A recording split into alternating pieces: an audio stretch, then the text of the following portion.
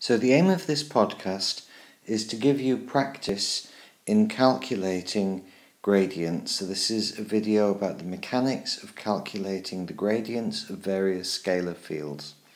So, if we have a scalar field, we apply the vector nabla operator to it to calculate the gradient. And here we have one, two, three, four, five, six exercises for you to calculate and note that the sixth one is in two dimensions, all the rest are in three dimensions. So what I would suggest you do is that you pause the video and with pen and paper calculate the answers to these and then on the next slides you can quickly check whether you've got them right or not and if you haven't then you can understand your mistake and come back and try to repeat it later. Okay, so with that, I suggest you make a pause. So the first exercise is to calculate the gradient of this scalar field here. We recall the definition of the gradient. We apply this vector operator to the scalar. Here's our scalar. And the gradient is in the i direction. We differentiate our field with respect to x in the j direction, we differentiate with respect to y, and in the k direction, we differentiate with respect to z. So, here is our field. It's straightforward to differentiate it. The derivative of this with respect to x, this is x to the 1 multiplied by this, which is treated as a constant in partial differentiation if you're differentiating with respect to x. So we just are left with y squared z cubed, and we write that here. Similarly, in the other directions, when we differentiate this with respect to y, we pull down a factor of 2 in front, we reduce the power by 1, and the other factors multiplying in are treated as constants, so we get 2xyz cubed, and finally here, differentiating this with respect to z, we pull a factor of 3 in front, xy squared is treated as a constant, it's left multiplying everything, and the power 3 is reduced to the power 2, and this is our result for this exercise. Let's now go on to the next solution. So the next exercise is to calculate the gradient of this scalar field here. This is now the sum of two terms, but otherwise it's quite similar to the previous exercise. Again, let's recall the definition of the gradient. And first of all, in the x direction, we just have to differentiate this with respect to x. So here we get a factor of 2x multiplied by yz, and then plus differentiating this with respect to x leaves us with 4z squared. And we need brackets around this because all of this is multiplied by the unit vector i. Similarly, here we differentiate with respect to y. So here there is a factor of y and an x squared z factor. The x squared z factor continues to multiply it. And then when we differentiate this with respect to y, we obtain 0 because there is no y dependence. So we have x squared z from the first term plus 0. And finally, in the z direction, we differentiate all of this with respect to z. Here we're left with x squared y multiplied by 1. And then we say plus, and differentiating this with respect to z, we bring a factor of 2 down. 2 times 4 is 8. The x sits there multiplying everything, and the power 2 is reduced to a power of 1, so we have 8xz. And on the final line, I've just rewritten the whole thing, except I've not put plus 0 for obvious reasons. So that's the answer to the second question. Let's go on and look at the third. For the third question, this is our scalar field. This is our definition of the gradient. So in the x direction with the i unit vector, we differentiate all of this with respect to x and we get 4x and here we get 0 and here we get 0 when we differentiate with respect to x so we're left with a factor of 4x. Here multiplying the j unit vector in the y direction we differentiate all of this with respect to y. Here we get 0 because there is no y dependence. here we get minus 2y, and here we get 0. So overall, minus 2y, which I have written here. Finally, in the z direction, the k unit vector, we differentiate all of this with respect to z. We get 0 minus 0 plus 9z squared. And that's our final answer for this question. So let's move on to the next question. So this exercise is related to problems that arise in various physical situations. So r is the distance from the origin of a point P with coordinates x, y, z. And this is one of the coordinates in spherical polar coordinates, and r can be written as the square root of x squared plus y squared plus z squared. So to work out the gradient of that, we differentiate f with respect to x and put in a factor of the i unit vector. So here we have the square root. This means it is all to the power of a half. So we put a power of a half in front and we reduce the power from a half to a half minus 1, which is minus a half, so that is 1 over the square root. Then, from the chain rule, we multiply by the derivative of the argument of the square root, and if we're differentiating with respect to x, we get 2x plus 0 plus 0. So overall a factor of 2x. And this is the coefficient of the i unit vector. This is the component of the gradient in the i direction. And the other terms in the j direction, so along the y-axis, that direction, and along the k-axis, so pointing directly upwards, they can be worked out in a similar way, and this is what we obtain. The factors of 2 cancel, so we're left on the bottom with 1 over the square root is a common factor. r is the square root, so 1 over the square root is just a factor of 1 over r. And in the numerator, because the 2 and the half have gone, we are left with x times the unit vector i plus y times the unit vector j plus z times the unit vector k. And that is this position vector of the point P, which I'm going to write as r. So the point P has coordinates x, y, and z, and this vector is, the numerator is the vector r. So we have r divided by r, and that is the vector divided by its magnitude.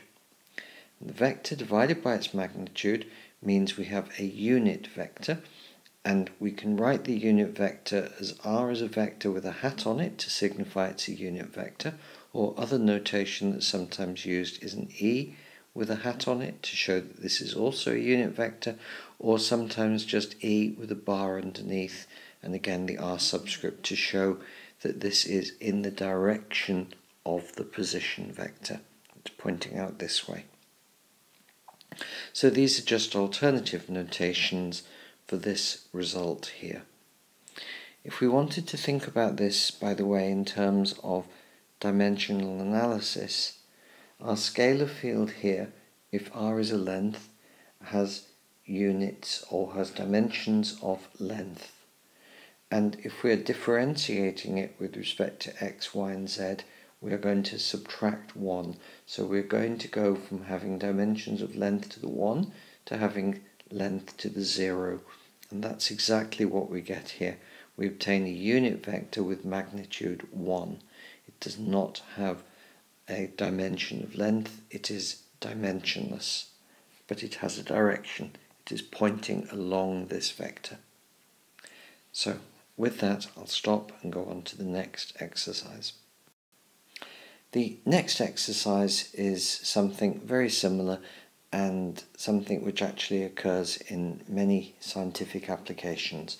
So the scalar field is 1 over r, where r is again the distance um, from the origin to the point with coordinates x, y and z. this is our definition of the gradient. Again, we will use the chain rule. And what I'm going to do now is to point out that this is symmetric under exchanging x and y or x and z or y and z. So all I'm going to do is calculate one of the components and then by symmetry I'm going to be able to just write these two down. And if you're not confident with this you can calculate these separately and see how, what you get and you will see that you obtain what I write down. So we're going to need the derivative of f with respect to x. f is 1 over r, so if we differentiate that, we're going to get minus 1 over r squared, and from the chain rule we will multiply that by the derivative of r with respect to x. We worked that out in the previous exercise, so if you remember, this is all to the power of a half, so we bring a factor of a half in front, then we have x squared plus y squared plus z squared to the power of minus a half, which means 1 over the square root, so 1 over r. And then we multiply again from the chain rule by the derivative of the argument of the root. And if we're differentiating with respect to x we get 2x plus 0 plus 0 so just 2x. The 2 and the half will cancel and we're going to get 1 minus 1 over r squared times 1 over r is 1 over r cubed and a factor of x in the numerator. And this is our result for df dx. And as I argued a moment ago, therefore by symmetry, we can write df, so I'll correct this, df dy is minus y over r cubed. If this df dx is minus x over r cubed, df dy is minus y over r cubed, and df dz is minus z over r cubed. And If you're not confident with this, calculate them and you should get these results and understand the symmetry better. So now, we take this result, this result, and this result, substitute them back in, and this is our result for the gradient. But we can write this slightly more nicely. We can recognize there's a common factor of r cubed everywhere that we can put on the bottom. There's a common minus sign we can put out front, and then we would have xi plus yj plus zk and from the previous exercise we recognize that this is the position vector r. So we have minus the vector r over r cubed and one of these powers of r I can divide into this to give me a unit vector in the r direction. So we can have minus the unit vector of r divided now not by r cubed but by r squared. And alternative notation, I can write this as minus and then e with an r subscript as the unit vector in the r direction, again divided by r squared. This is just different notation for this unit vector. So this is our result for this exercise, and with this I'll move on to the next one. Okay, so with the final exercise, we're going to work in two dimensions and again we're going to use a scalar field which has actually got scientific use in two dimensions which is the logarithm of the square root of x squared plus y squared. In two dimensions the gradient looks just as before except we don't have the third term for the extra dimension. Before we calculate these derivatives it's helpful to think about the logarithm and realize that we can use the rules for logs to rewrite it in a way that will make our work a little easier. So this means the logarithm of x squared plus y squared to the power of a half and from the rules for logs we can pull the power of a half in front and rewrite this as a half logarithm of x squared plus y squared. So now let's differentiate it with respect to x to calculate this coefficient here. The half sits out front. When we differentiate it, we're going to have from the chain rule 1 over the argument of the logarithm, so that's 1 over x squared plus y squared, times the derivative of the argument of the logarithm with respect to x, and that's going to give us 2x plus 0. So the 2 and the half will cancel. We will have x over x squared plus y squared, and in polar coordinates in two dimensions, x squared plus y squared is r squared, the difference of the point, sorry, the distance of the point from the origin. So we have x over r squared. By symmetry, we can write df dy as y over r squared. And if you're not confident about that, I encourage you to calculate it and see that you get that. And that will help you to better understand the symmetry. So now we take these two results and we put them into our definition of the gradient in two dimensions. And we obtain that the gradient of the logarithm of the square root of x squared plus y squared is x over r squared times the unit vector in the x direction plus y over r squared times the unit vector in the y direction.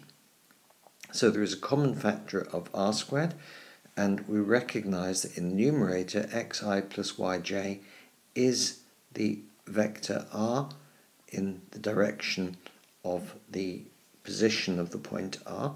So we have r over r squared, and we can take one of these factors of r, the magnitude of this distance, uh, so the magnitude of the vector r, and divide it into that and get a unit vector um, r hat over 1 power of r.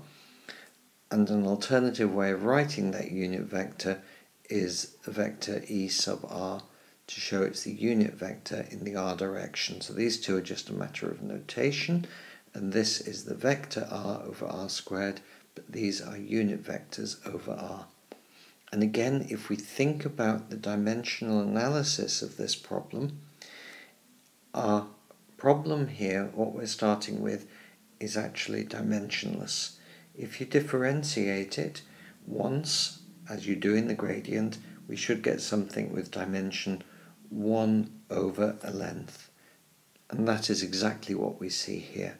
Something dimensionless, a unit vector over a length. Or here, a length, a vector with dimension 1 divided by 2 powers of r. So overall again, 1 over a length. With that, I will stop this podcast.